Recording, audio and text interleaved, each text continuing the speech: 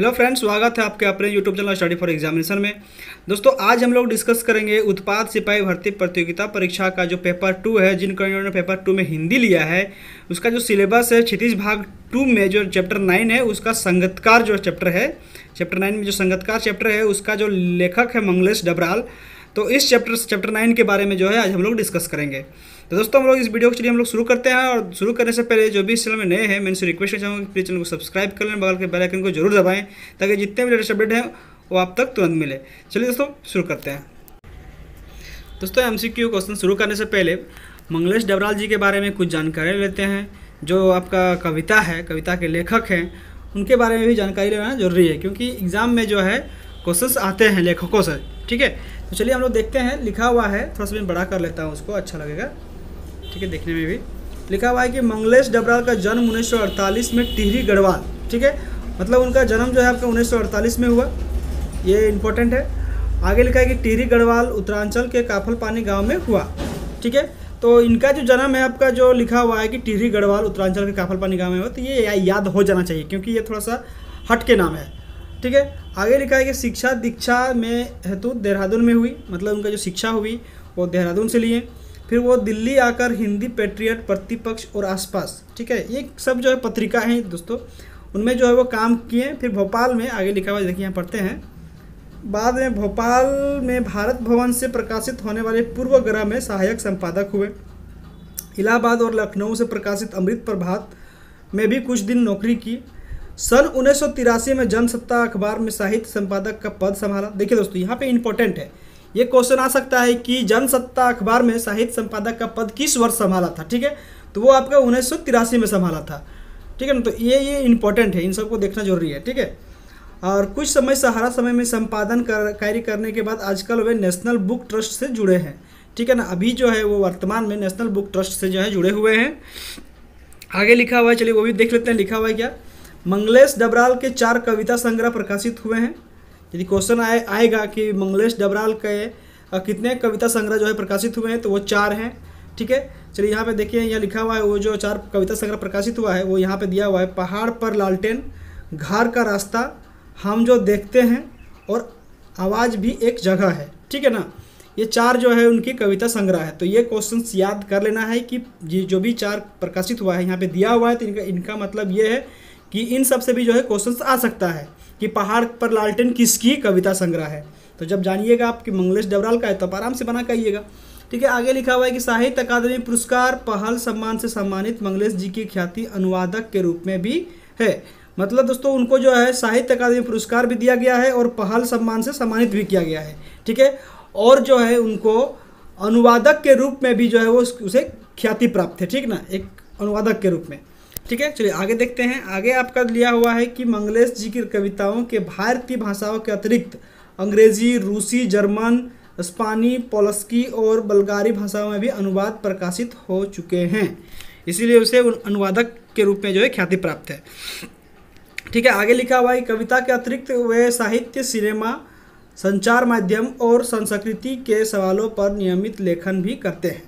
मंगलेश की कविताओं में समंती, बोध और पूंजीवादी छल छदम दोनों का प्रतिकार है।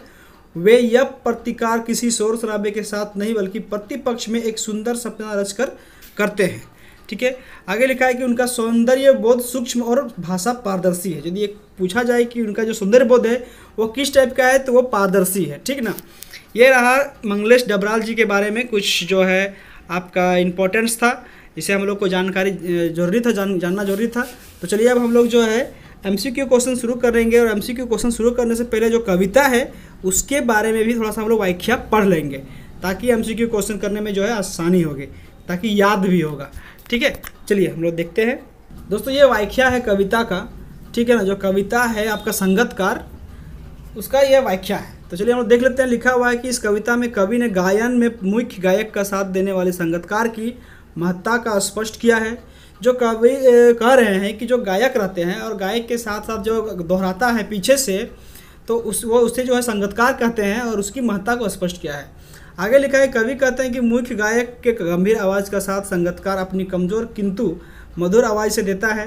अधिकांशतः या मुख्य गायक का छोटा भाई, चेला या कोई रिश्तेदार होता है, जो कि शुरू से ही उसके साथ आवाज़ मिलाता आ रहा है। जब मुख्य गायन जब मुख्य गायक गायन करते हुए सुरों की मोहक दुनिया में खो जाता है, उसी में रस जाता है, तब संगतकार या स्थायी इस प्रकार का गाकर समा बांधे रखता है। आगे लिखा है कि जैसे वह कोई छूटा हुआ सम्मान संजोकर रख रहा हो, जो संगतकार होते हैं, वो अस्थाई प्रकार का जो है समा बांधते हैं, ठीक है ना, गाकर। और वो वो ऐसा प्रतीत होता है कि जो कोई छूटा हुआ सामान रहता है, उसे संजोकर रखते हैं, इस प्रकार का लगता है। वह अपनी टेक से गायक को यह उन दिनों की याद दिलाता है जब उसने सीखना शुरू किया था। आगे लिखा हुआ है कि कवि कहते हैं, बहुत ऊँची आवाज़ में जब मुख्य गायक का स्वर उखड़ने लगता है और गला बैठने लगता है, तब संगतकार अपनी कोमल आवाज़ का सहारा देकर उसे इस अवस्था से उबारने का प्रयास करता है। वह मुख्य गायक को अस्थाई गाकर हिम्मत देता है कि वह इस गायन जैसे अनुष्ठान में अकेला नहीं है। वह उन पंक्तियों को गाकर मुख्य गायक के बुझाते हुए बुझते हुए स्वर को सहयोग प्रदान करता है। इस इस समय उसके आवाज़ में एक झिझक से भी होती है कि कहीं उसका स्वर मुख्य गायक के स्वर से ऊपर न जाए। जो संगतकार होते हैं, उसे इस बात की चिंता होती है कि जो मुख्य गायक है, वो जो गाना गा रहे हैं तो उसकी स्वर से जो है, उनका स्वर ऊपर न चल जाए, उसका आवाज़ ऊपर न चल जाए।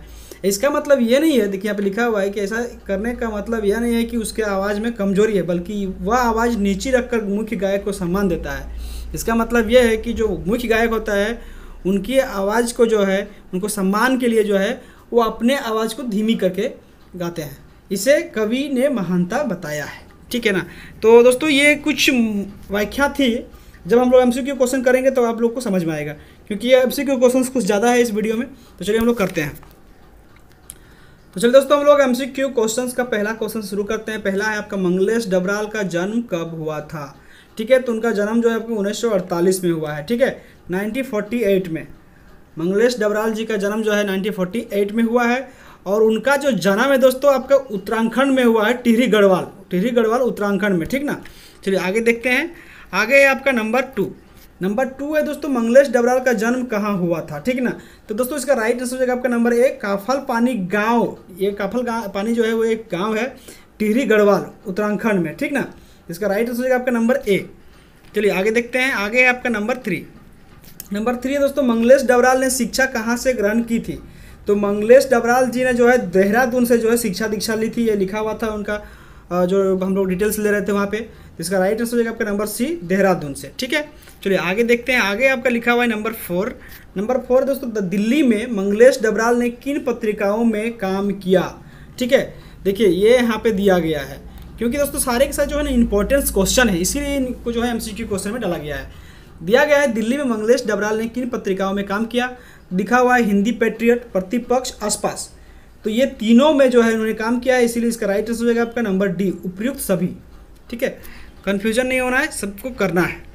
आगे लिखा हुआ है नंबर फाइव नंबर फाइव है, भोपाल के भारत भवन से प्रकाशित पूर्वाग्रह में मंगलेश डबराल ने किस पद पर काम किया? देखिए, ये भी एक क्वेश्चन बन रहा है। ठीक है ना? तो उन्होंने जो है सहायक संपादक के रूप में काम किया है उसमें, ठीक है? कार्य किया है। तो इसका राइट आंसर हो जाएगा आपका नंबर ए सहायक संपादक, ठीक है? चलिए, आगे देखते हैं।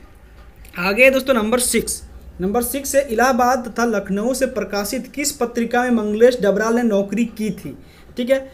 तो उन्होंने जो है अमृत प्रभात में जो है इलाहाबाद तथा लखनऊ से प्रकाशित जो पत्रिका थी, वो थी आपका अमृत प्रभात और उन्हीं, उसी में जो है मंगलेश डबराल ने जो है नौकरी की थी। कुछ समय के लिए। आगे देखते हैं, आगे है आपका नंबर सेवन। नंबर सेवन है, उन्नीस सौ तिरासी ईस्वी में किस अखबार में मंगलेश डबराल ने साहित्य संपादक का पद संभाला था? ठीक है तो दोस्तों क्वेश्चंस कुछ ऐसा रहता है कि क्वेश्चन में भी आंसर रहता है।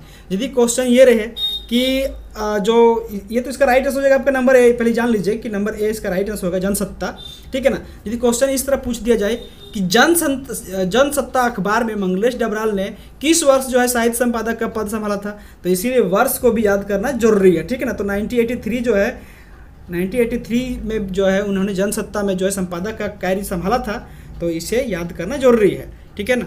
चलिए, आगे देखते हैं। आगे लिखा है आपका नंबर एट नंबर एट, दोस्तों, मंगलेश डबराल ने किस टीवी चैनल में संपादन कार्य किया? देखिए, ये भी एक इम्पोर्टेंट है तो उन्होंने जो है सहारा समय जो है टीवी चैनल था, टीवी चैनल है, उसमें जो है आपका संपादन का कार्य किया है, ठीक है? तो इसका राइट आंसर आपका नंबर ए चलिए, आगे देखते हैं, आगे आपका नंबर नाइन नंबर नाइन है, संपादक तथा साहित्यकार के अतिरिक्त मंगलेश डबराल किस क्षेत्र में विख्यात थे? देखिए तो यहाँ पे जब आप लोग ऑप्शन देखिएगा तो आपको समझ में आएगा कि वो जो है किस क्षेत्र में इनके अलावा विख्यात थे तो वो थे आपका अनुवादक के रूप में, ठीक ना? अनुवादक के रूप में जो है विख्यात थे मंगलेश डबराल जी, संपादक और साहित्यकार के अतिरिक्त, ठीक है? चलिए, आगे देखते हैं आपका नंबर टेन। अगला है नंबर टेन, मंगलेश डबराल के कुल कितने कविता प्रकाशित हो चुके हैं? कविता संग्रह जो है प्रकाशित हो चुके हैं। तो दोस्तों, इस क्वेश्चन से आपको याद आ रहा होगा कि उनका कितने जो है कविता संग्रह प्रकाशित हुए हैं, जो कि हम लोग जब जानकारियाँ ले रहे थे उस वक्त, ठीक है?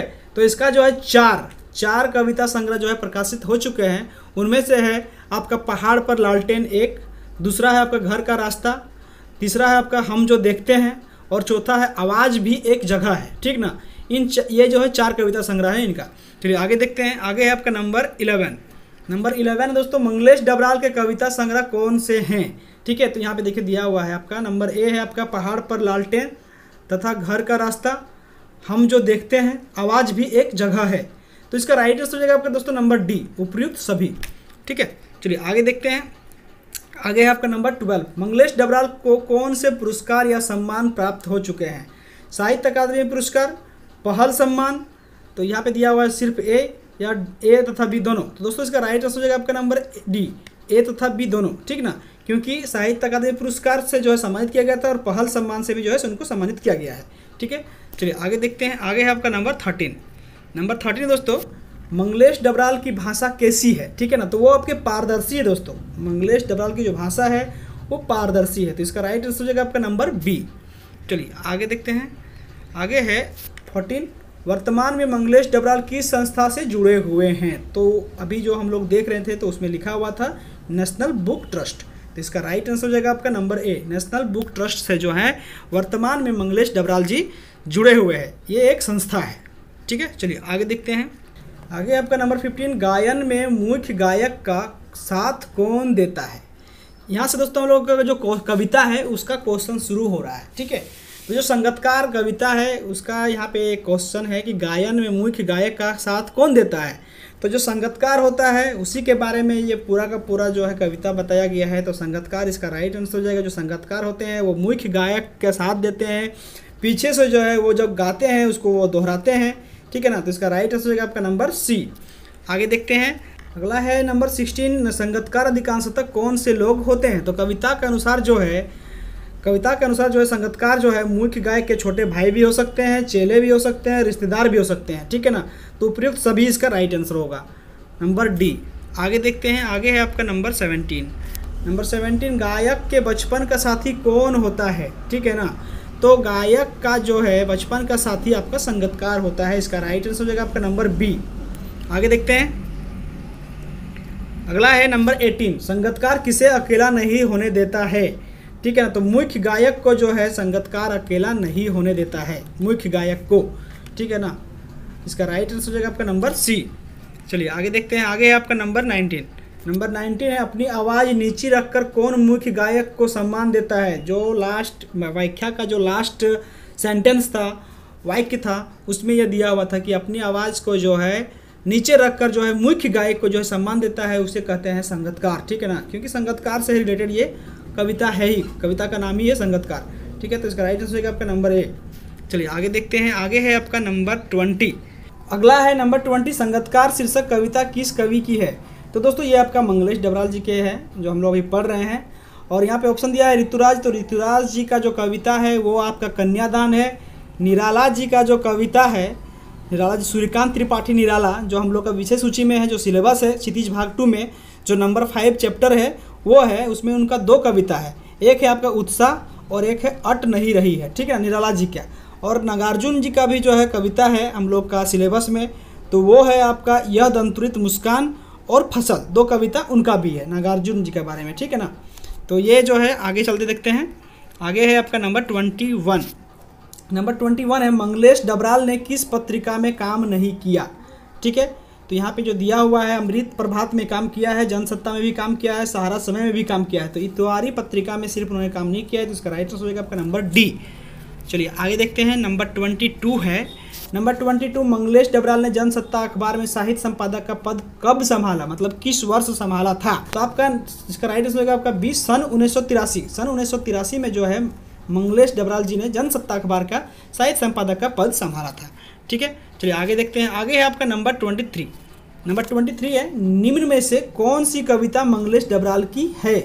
पहाड़ पर लालटेन, घर का रास्ता, हम जो देखते हैं, ये सभी। तो इसका राइट आंसर दोस्तों, आपका ये सभी होगा। ठीक है ना? और दोस्तों, यहाँ पे जो है, थोड़ा सा मैं आप लोगों को एक चीज़ बता दे रहा हूँ। यहाँ पे जो, इस तरह का जो क्वेश्चंस था, देखिए यहाँ पे, जैसे कि यहाँ पे लिखा हुआ है कि अपनी आवाज़ नीचे रखकर कौन मुख्य गायक को सम्मान देता है, ठीक है ना? तो मैं आपको बता दूँ क्वेश्चन इस टाइप का नहीं रहेगा, थोड़ा सा मैंने गलती कर दिया है इसको टाइप करने में। यहाँ पे लिखा रहेगा, जब आप वहाँ पे एग्ज़ाम रूम में बैठोगे तो वहाँ पे लिखा रहेगा इससे पहले, ये तो रहेगा ही, लेकिन उससे पहले लिखा रहेगा कि प्रस्तुत काव्य, ठीक है ना? प्रस्तुत काव्य प्रस्तुत काव्य संगतकार, यहाँ पे ऐसे लिखा रहेगा कि प्रस्तुत काव्य संगतकार में अपनी आवाज़ नीचे रखकर कौन मुख्य गायक को सम्मान देता है? क्योंकि आपको ये कैसे पता चलेगा कि किस कविता के बारे में कह रहा है? ठीक है ना? तो ये यहाँ वहाँ पे लिखा रहेगा। लेकिन फिर भी जो है, आप बढ़िया से संभल के जो है, तैयारी करें, पढ़ें, ताकि आपको कहीं भी जो है डिस्टर्बेंसन ना पता ना हो डिस्टर्बेंस ना हो। ठीक है? दोस्तों, इसका पीडीएफ भी मैंने अपने डिस्क्रिप्शन बॉक्स में दे दिया हूँ, वहाँ से आप जाके डाउनलोड कर सकते हैं लिंक के ज़रिए। और दोस्तों, इसके जो पिछला जो भी आपका वीडियो चैप्टर है, उसका भी वीडियो अपलोड हो चुका है। तो जो भी अभी तक चैनल को सब्सक्राइब नहीं किया है, मैं उनसे फिर से रिक्वेस्ट करना चाहूँगा कि प्लीज़ चैनल को सब्सक्राइब कर लें बगल के बेल आइकन को ज़रूर दबाएँ, ताकि जो भी मैं वीडियो अपलोड करूँगा, वो आप तक तुरंत पहुँचेगी। ठीक है? तो चलिए दोस्तों, मिलते हैं हम लोग अगले वीडियो में।